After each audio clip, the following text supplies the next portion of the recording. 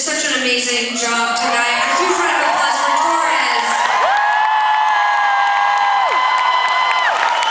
We've been on tour all month and they've just been doing such a good job. And I know that today is a tough day for them and I just want to give them a massive shout out. They're so talented. If you missed the set, please look them up. Torres. We're stopped by the merch table. We're gonna play one more song. You guys have been so tremendous. I hope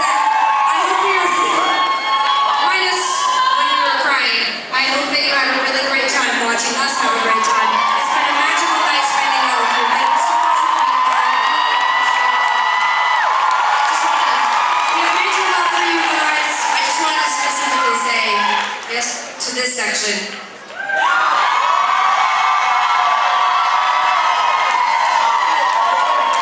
I can only sing, I know that I look so bad right now, and I can only sing to you looking like Alice Cooper, knowing that I would get so much love back from you. I love you guys. Thanks so much over here. It's only, I think I've only tried on stage two other times in our entire career, so I feel embarrassed, and I'll,